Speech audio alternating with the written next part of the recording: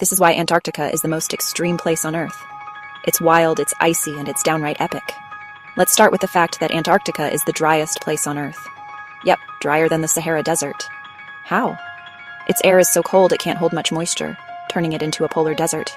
Now, on to the coldest part. Imagine temperatures dropping to minus 128 degrees Fahrenheit. That's colder than your freezer multiplied by 10.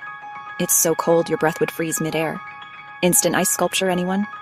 But wait, there's more. Antarctica is also the windiest place on the planet. Winds can scream across the ice at over 200 miles per hour. That's like a Formula One car speeding by, except it's wind. Picture this you're standing on a massive glacier, surrounded by untouched beauty.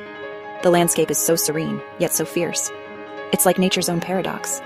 And let's not forget the wildlife penguins waddling around, creating their own tiny tuxedoed traffic jams, seals lounging like they're on vacation, and whales cruising through icy waters, majestic and mysterious. Antarctica is like stepping into another world, a world where conditions are extreme, but the experience is nothing short of magical. So, next time you think of extreme destinations, remember Antarctica is the ultimate. Stay curious and keep exploring.